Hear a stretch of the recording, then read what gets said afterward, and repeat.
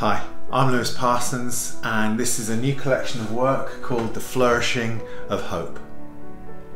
I think there's times in which we all question who we are, why we're here, and how are we at all significant in the world that we live in today.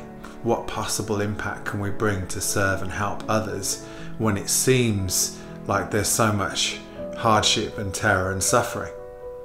And I think it's in tempering the power of the light with the power of the darkness that you end up creating some of your most beautiful and powerful work. And in fact, you have your most beautiful and powerful life experience. And that's what this sequence explores. So I'd like you to look at each of the pieces in sequence, take a few deep breaths, and see what comes up for you as you look at each of the paintings. Maybe even journal what your experience is.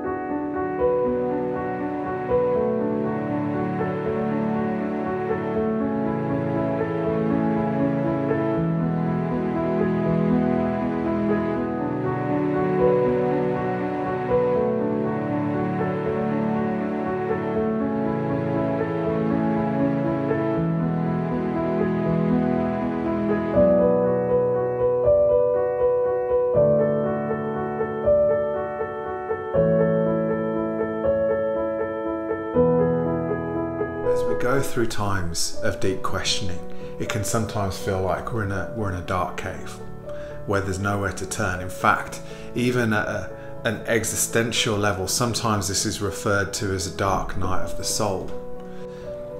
In fact, it's often that when, when we look at the color black, we can think of that as something really bad, dangerous. And the reason for that is our evolutionary response to darkness is that we feel as though something will take us, it's a danger to us.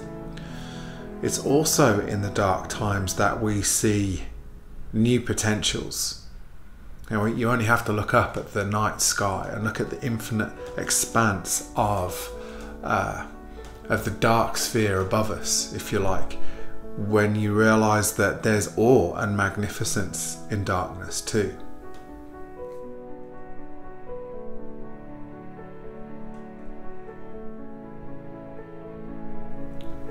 So there's a figure here contemplating, stood still, and in a moment of of real self-doubt and questioning is just finding poise enough to find any light in the current situation.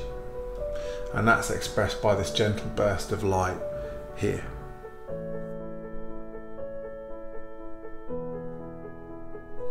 From that moment of poise, where we try and find our feet in a hard, tough time that challenges us to our core, we can sometimes find the strength to send a, a flare, if you like, a, a signal to ourselves that we can we can feel or see some kind of way forward. Just a single step we can take in a moment, in a heartbeat, in a in a singular eye-opening instance, we can see this is what I know I need to do next. And it's still tough and it's still hard and there's still turmoil.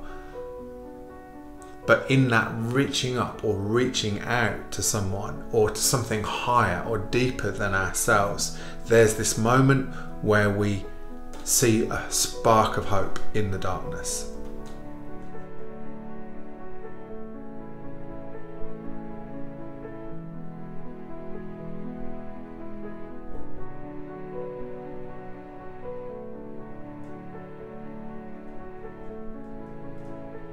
And this hope that we find, whether it's in a, a decision to just be thankful for the, the air in our lungs. Whether it's to be thankful for the spark in our eye, whether it's to be thankful for being able to feel anything in this giant miracle of life that unfolds every single day and that we miss so much of, then there's the flourishing of hope. There's this movement through the the layers of, of, of water and the textures of life that have held us back, that seem to be closing in around us. And like a lotus flower that blooms from the very darkest, most uh, removed steps from any form of light, there's this gentle unfolding of, of, of, the torch of hope that we found within us that we start to bring to the surface. So that even in times of fragility and pain, there's an interior iron light that can can galvanize us that we can tenderly tap into and it feels like it flickers in and out and I, this is not easy it's not straightforward but somehow we can become more and more conscious of of the things that drive us of the things that uh, enable us to feel just that little more alive and thankful and loving today even in the midst of hard and tough times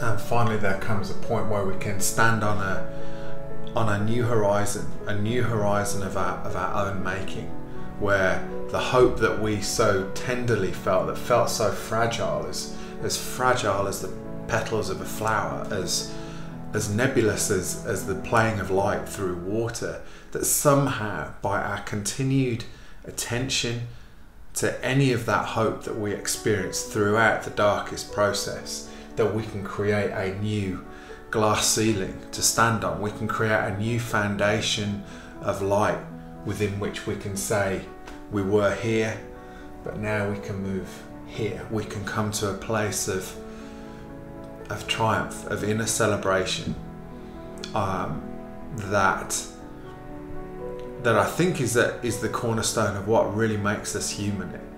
It's the cornerstone of what what we celebrate most in life is is our continual ability in the face of the most extreme adversity to be able to overcome.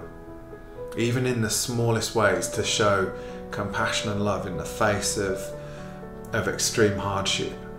These are the humans that we celebrate most. These are the qualities that we celebrate most in one another.